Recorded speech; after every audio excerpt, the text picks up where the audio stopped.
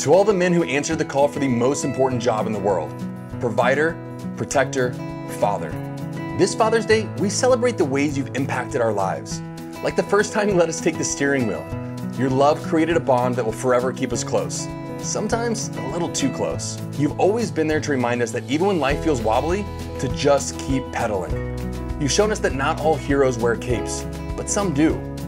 You taught us the ABCs and so much more, like how to approach life with patience and determination, and the important stuff like how to grow a beard.